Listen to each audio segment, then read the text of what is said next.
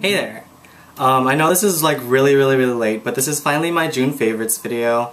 Um, over the past week or so I've been really busy with work and stuff, and actually over the past couple of days I've been really sick, so this has been taking a long time for me to get this video out for you guys, but I finally have it for you, so I'm gonna jump right in and get started.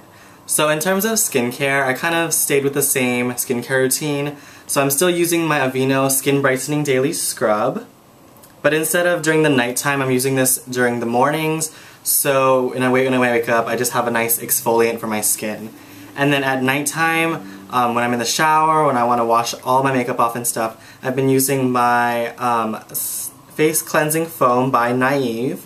And this is a Japanese brand. It's the green tea um, face wash. And I actually found this, I stumbled across it when I was walking through the Asian beauty aisle and I kind of um, was looking for a good cleanser and I kind of just bought it on a whim just because I was looking for a good cleanser and it was suggested as the best-selling product from the line. So I decided to pick that up and ever since I've started using it I've been really really really loving it for um, removing all of my makeup and getting everything off my face at the end of the day. So I've been really loving that as a good cleanser for my face. But um, the downside to it is that um, it feels like a little bit um, soapy when you use it. It foams up really nicely and it gets everything off your face, but afterwards, after you wash it off, it gets a little, it feels a little soapy, but that's the only downside to it. Other than that, I love it a lot. And then in terms of moisturizer, I'm still using my Neutrogena Oil Free Moisture in Combination Skin. And I've been loving this even more through the month of June. I feel as though it gives you the good moisture but doesn't make you oily at all and it doesn't really um, dry out your skin either. So I really love that as a good moisturizer, especially since it works well with my skin. Um, but that's pretty much it in terms of skincare. As far as foundation goes, um, I've changed my sort of primer routine. So instead of just using my um, L'Oreal Studio Secrets Magic Perfecting Base, I've been using my Rimmel Fix and Perfect. And this is um, the foundation primer. And I use this all over my face. And then for the sort of bigger problem areas where I have larger pores, I've been continuing to use my Clinique Pore Minimizer. So this is definitely a really good product. I re recommend this like a lot. If you can get your hands on this and if you're willing to spend the money, this is a really great product for concealing your pores. I love it a lot. And then for liquid foundation, I've been leaning towards using my Makeup Forever Matte Velvet, and I'm in the shade 65. And this is perfect for the summertime because I can get the coverage I want and it keeps my skin nice and matte. So I'm not getting all oily and I'm not, you know, getting all shiny and I'm staying nice and matte using this foundation. But for days when I'm just going to be going to work or I'm not really spending much time outside in the heat, I've been using my Maybelline Dream Liquid Mousse. And this is actually one of my favorite drugstore foundations. I know some people don't really like it because they say it's too silicone and it's too like sticky, but I actually really like it. It's good coverage and it goes on well with my skin, so I really like that as a good drugstore foundation. And um, in terms of concealer, last month I know I mentioned that um, I was running out of my Benefit Boing concealer, and so a lot of you guys gave me really good suggestions, but the one I picked up was the Sonia Kashuk Hidden Agenda concealer palette, and I've been using this pretty much every day since I got it, and most of the time I end up using this shade, which is pretty much the darkest one in the palette, but I've been loving this a lot. I actually think I'm going to hit pan on it soon, so um, this goes to show how much I've been using this, but definitely worth purchasing and a lot cheaper than my um, Benefit Boing concealer, so I'll probably pick up another one of these after this is done. And then as far as pressed powders or powders go, I'm still continuing to uh, set my foundation with Makeup Forever HD powder, just for all over. And for some days where I just want to um, sort of touch up or blot, I've been using my Maybelline Dream Matte Powder. And I've also used this a couple of times to set my foundation. I kind of forgot how much I love this pressed powder. This is one of my favorite drugstore pressed powders because it it's really silky smooth and it glides on really nicely and it looks really really clean on your face and I definitely love it to stay matte all day. So I really love that as a good powder. But um, for other powders that I've been loving are my NARS face highlights. I have them in Albatross and Nico. And I know I've mentioned these in a couple of videos before but this is Albatross. It's sort of like a white golden sheen. You probably can't tell in the pan, but when you um, apply it on the cheeks, it's very, very, very pretty. And then this is Nico.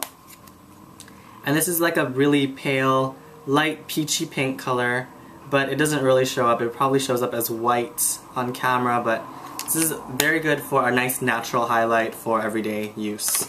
So I've been loving those a lot. And then for contour, I've actually been leaning away from using bronzers. I know I'm I told you guys in several videos that I'm not really a blush person, but I have been loving my NYX blush in Cocoa.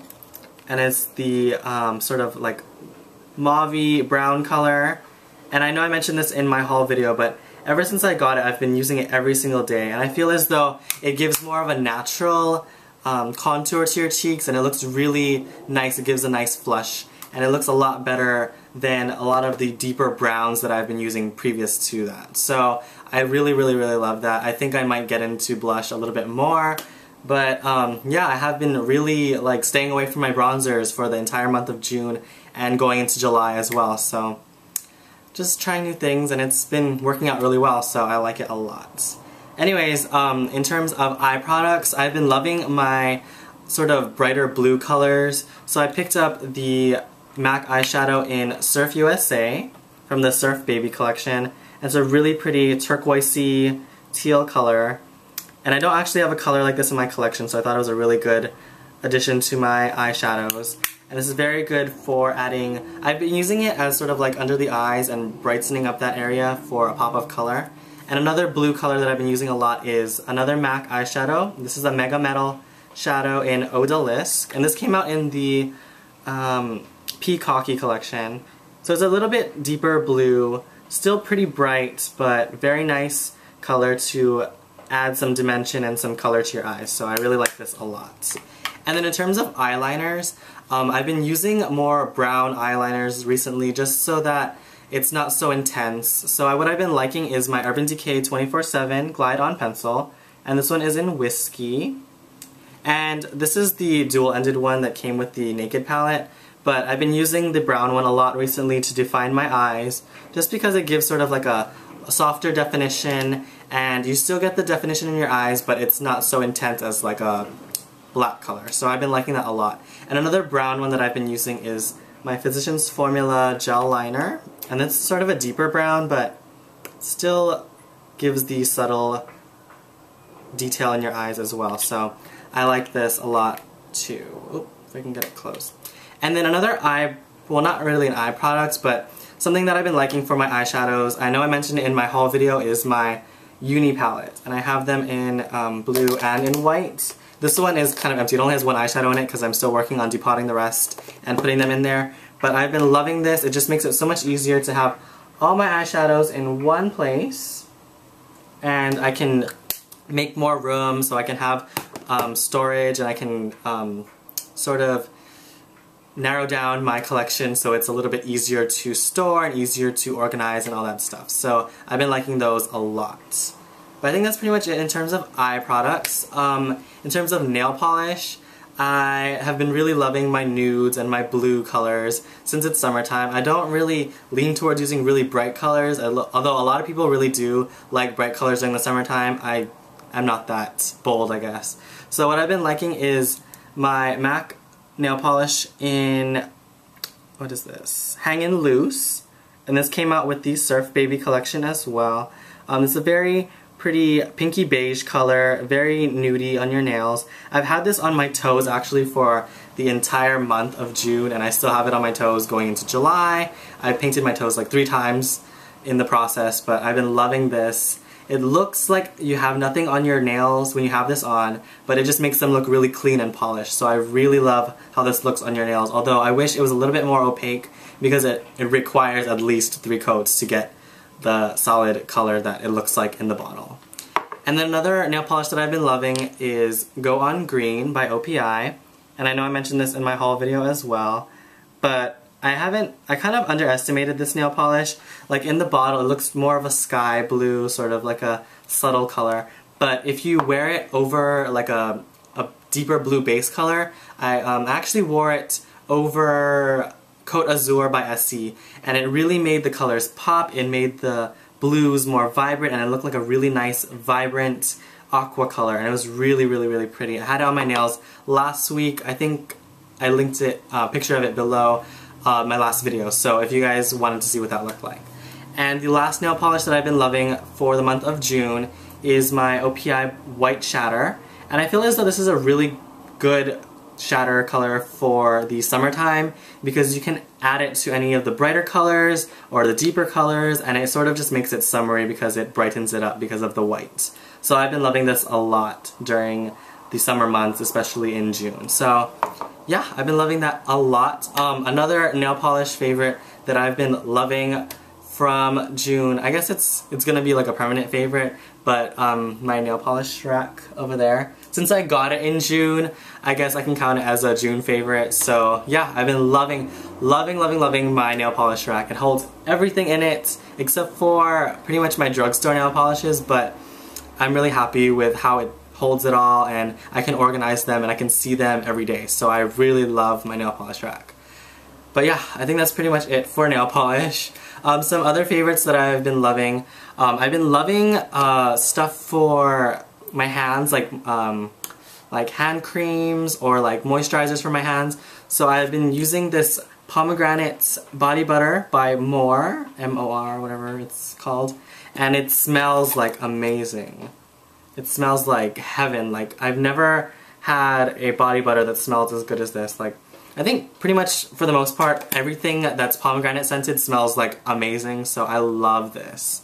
And I've been pretty much using it just to keep my cuticles nice and moisturized and moisturizing my hands as well. As well as my arms too, but just pretty much for my hands. And another thing I've been using to moisturize my hands is my Yes to Carrots Body Moisturizing Lotion. And um, I guess this is just a regular body lotion, but I've been loving this for my hands just because um, I don't really like body lotion all over my body and this smells really good. It smells really, like, it smells really clean. It doesn't smell like carrots, carrots, but I love the smell of this. It smells really nice and it's just really great and moisturizing for my hands, so I love that a lot.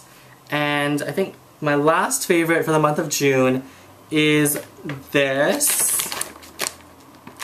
And this is the Brookside Dark Chocolate Acai with Blueberry. And this is like what I've been snacking on like non-stop from June to July and I've been loving this. Like this is my second bag. This is not even open yet because I have one that's almost empty.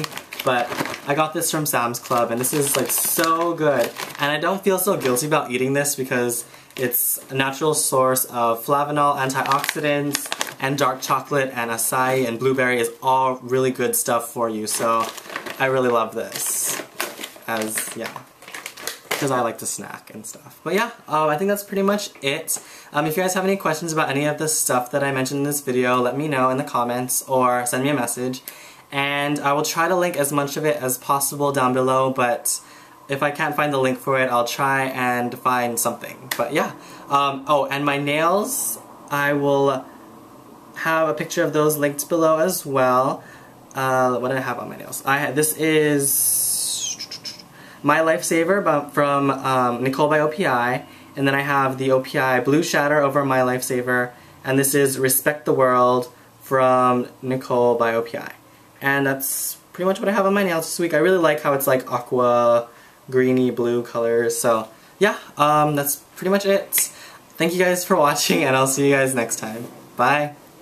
Thank you.